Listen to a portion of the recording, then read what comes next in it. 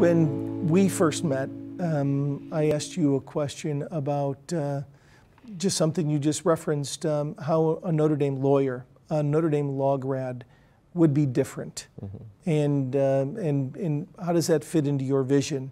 And you shared uh, a story with me, as you often do uh, in your answers, a great anecdote. Could, would you mind sharing with the group your vision for how a Notre Dame lawyer will be different?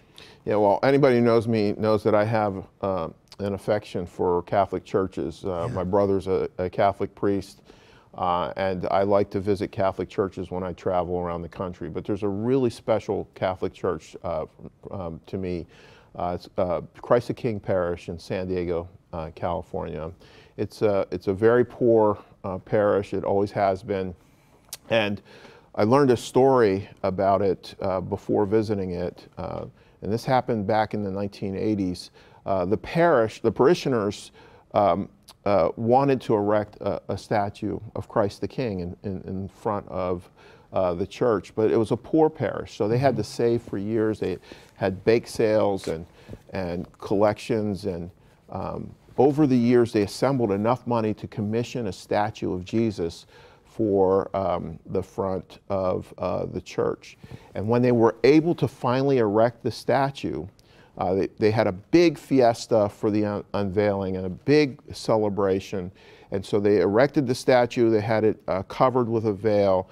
And uh, at the end of the fiesta, they unveiled the statue of Christ the King, and everyone was happy. But the very night after the unveiling, the statue was vandalized. Someone spray, spray painted graffiti over the body of Christ, and someone had taken a hammer and broken off the hands of Christ. And the community was devastated when they discovered the damage the next day.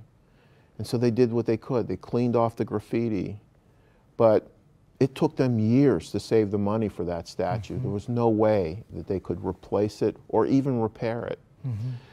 So the, the, the, the priest, uh, Father Robert Cabrini, uh, Fabrini, I'm sorry, uh, Father Robert Fabrini came up with an idea. He took a, um, a poem from uh, uh, uh St. Teresa of Avila um, and took some of the words from it and put up a plaque at the base of the statue.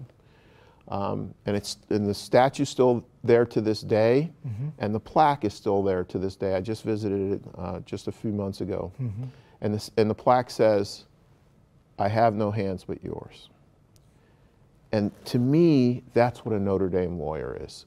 Um, we can go out and we can practice uh, securities law and corporate law, litigation, whatever. But at the end of the day, the core of our being is that we are lawyers who are trained to be of service to the world, to be a force for good.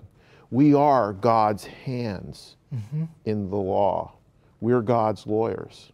And to me, that statue represents what it means to be a different kind of lawyer. Mm -hmm. God is telling us, I have no lawyers but you.